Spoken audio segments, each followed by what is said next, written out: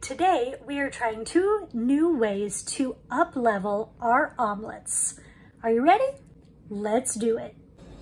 I'm starting out with just a normal two egg omelet um, mixture, which is just two eggs, but I'm gonna add some chickweed to the eggs. And the reason I'm the reason I'm adding the chickweed now is that I really don't think my husband would particularly enjoy um, their texture in this. So I figure cooking them will give them the longest chance for the chickweed to wilt nicely.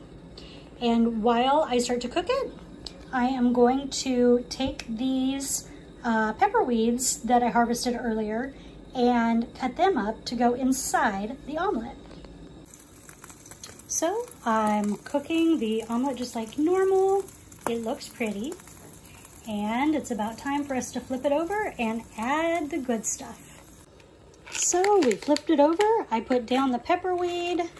Now we're gonna sprinkle some bacon bits. And I'm gonna put on the cheese.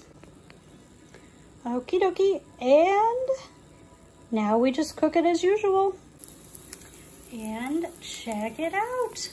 Now, cooking it this way with some of the herbs mixed into the egg is not a way to hide that you're putting herbs into someone's food.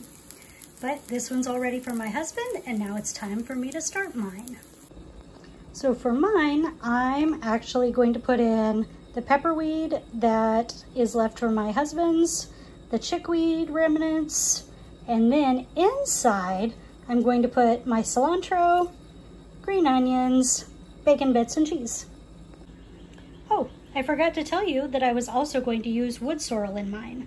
Wood sorrel has a really cool lemon flavor that I thought would combine with the Mexican theme of my omelet.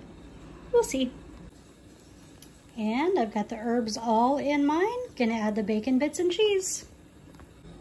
And this is my finished product on fancy china. So what do you think? Do you have any other herbs or wild plants that you would add to an omelet? Let me know in the comments.